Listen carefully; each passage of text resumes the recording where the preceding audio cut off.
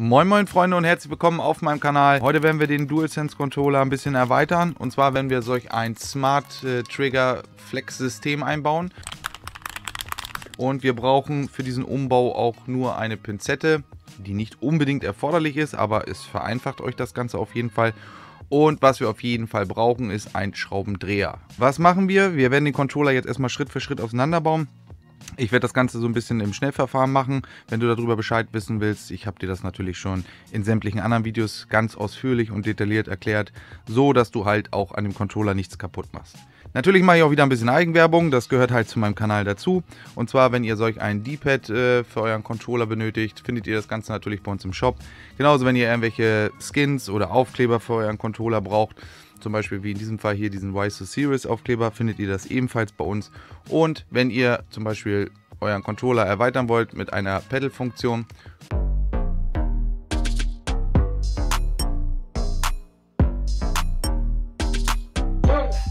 Das Ganze werden wir jetzt aufschrauben. Dann werden wir die adaptiven Trigger ausbauen. Da gebe ich euch auch noch einen Tipp mit auf den Weg. Äh, so, dass wir das Ganze auch nachträglich falls uns das System irgendwann mal nicht mehr gefallen sollte, dass wir das Ganze auch wieder zurückbauen können.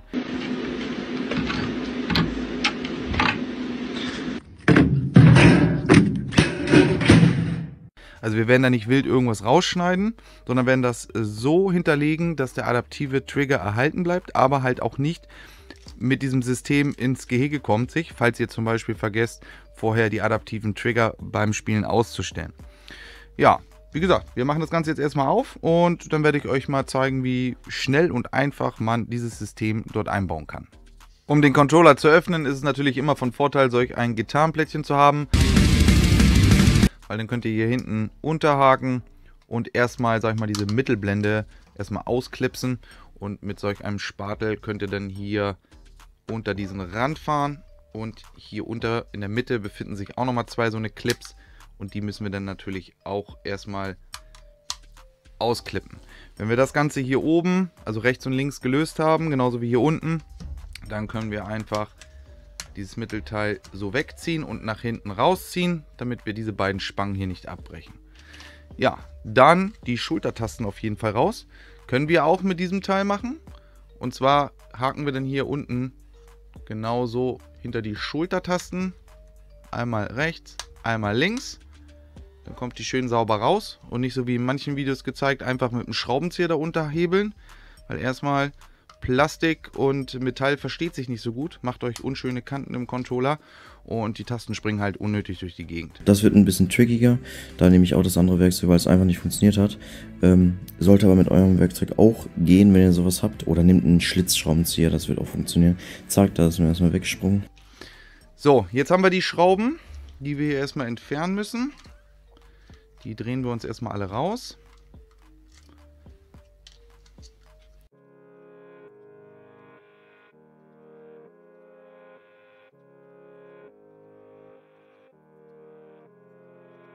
Jetzt müssen wir das Ganze natürlich noch ein bisschen weiter lösen und dazu haben wir hier unten wieder zwei Clips. Das heißt hier Frontcase und Rückcase ein bisschen voneinander wegschieben und gleichzeitig hier diesen Pin nach oben drücken. Und wenn der Controller schon öfters mal aufgemacht worden ist, geht das Ganze natürlich gleich praktisch von alleine. Beim ersten Mal ist es halt ein bisschen schwieriger, aber wie gesagt auch nicht unmöglich, das Ganze zu öffnen. Ja, ich habe jetzt bereits schon einen Remapper drinne. Das habt ihr natürlich nicht im Original, das heißt, wir müssen das Ganze jetzt erstmal hier alles entfernen. Der ist mit so einem doppelseitigen Tape bzw. so einem Silikonkleber hier auf der Batterie einfach nur fixiert. Den lösen wir. Dann den Akku raus, ziemlich weit unten an der Fassung anfassen, das Ganze einmal rausziehen. Die Schraube auch einmal lösen.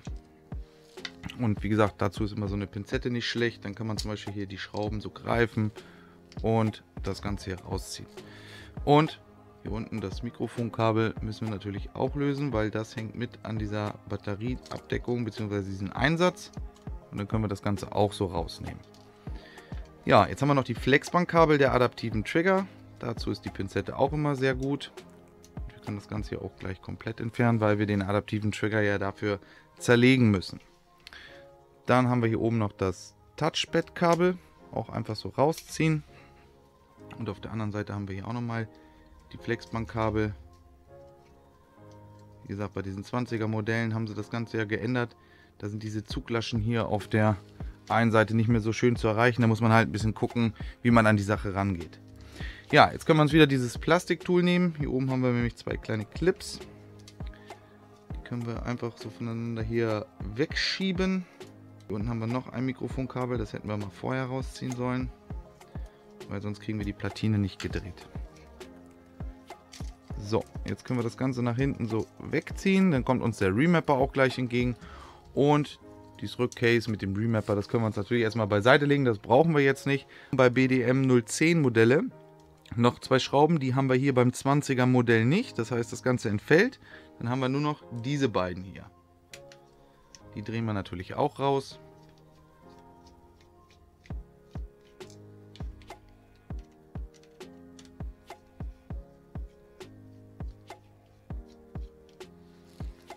So, wie gesagt, die Schrauben könnt ihr auch alle zusammenlegen, weil das ist alles eine Norm, eine Länge.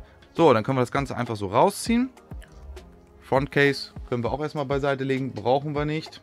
Wir machen jetzt nämlich weiter und schrauben die adaptiven Trigger raus.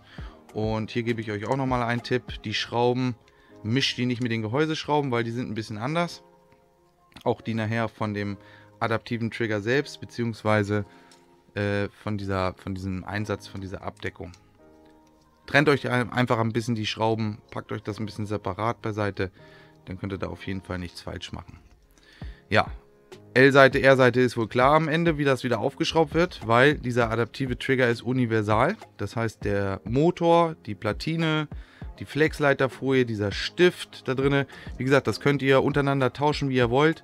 Halt nur nicht die Schultertasten, weil es würde halt doof aussehen, wenn die L-Seite auf der R-Seite ist oder halt auch andersrum. Ne?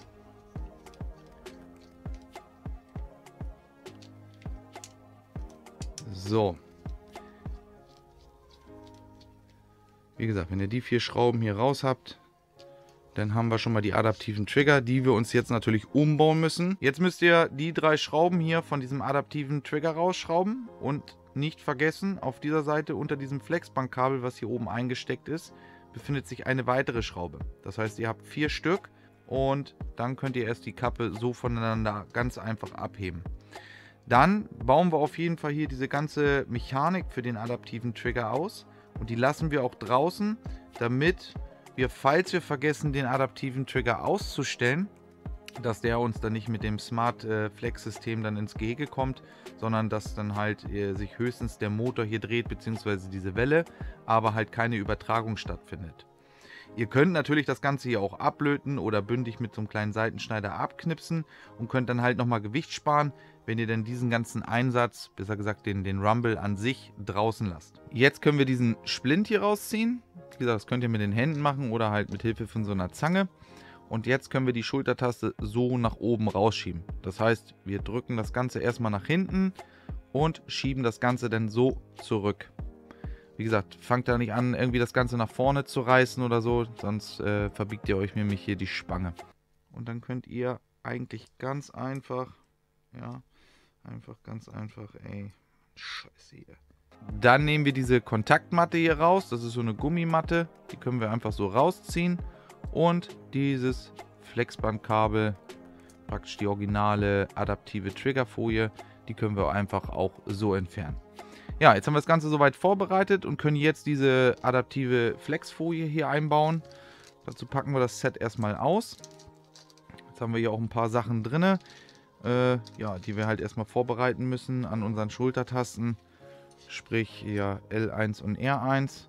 Dafür sind diese beiden Pins hier, die werden hier oben einfach nur so reingesteckt. Die drückt ihr einfach bis zum Anschlag runter. Nummer 2, wo haben wir das zweite Teil da? Den stecken wir hier rein. So, dann haben wir die L1 und R1 Taste schon vorbereitet. Jetzt müssen wir natürlich noch die Schultertaste vorbereiten und dafür sind diese beiden Einsätze. Und wie gesagt, ihr könnt hier auch nichts vertauschen. Also, ob das bei der Folie ist oder bei diesen Einsätzen. Ihr nehmt euch die Schultertaste, das Teil geht auch nur in eine Richtung rein. Und zwar schiebt ihr das dann hier unten einfach so rein und das war's. Selbst wenn ihr das wieder rausholen wollt, könnt ihr mit dem Schraubenzieher hier unten reinhaken und das Ganze wieder einfach eins zu eins wieder rausnehmen. So, das war's. Schultertasten sind vorbereitet. L2, R2, L1 und R1 ist fertig. Jetzt müssen wir noch die Folie nehmen, diese Triggerfolie. Und die ersetzt praktisch die alte Flexbandfolie, die wir eben entnommen haben. Und dafür setzen wir halt diese jetzt ein. Das Ganze muss dann wieder aussehen wie im Original. Hinter dieser Spange das Ganze rausgeführt.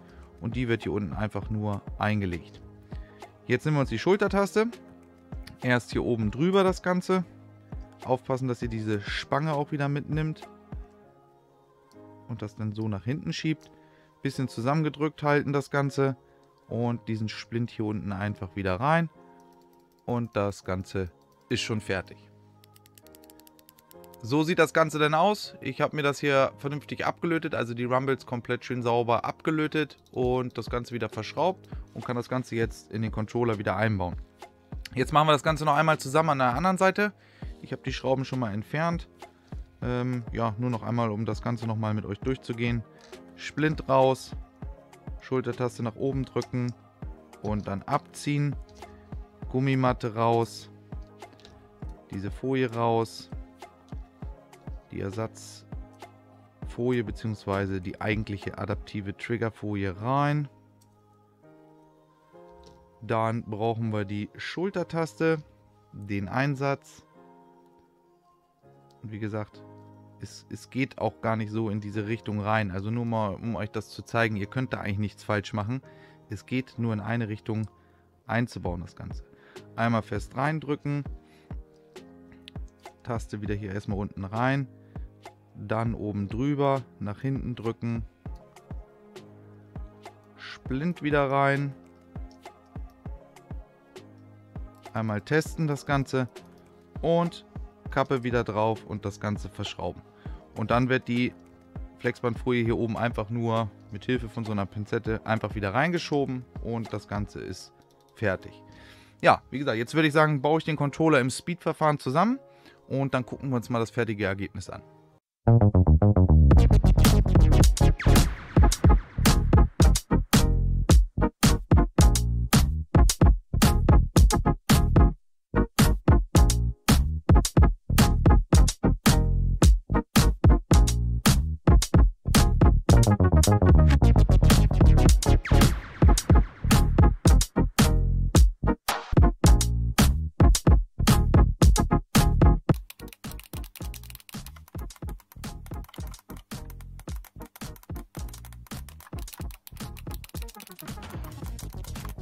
Das war's zum Video und dem kinderleichten Einbau.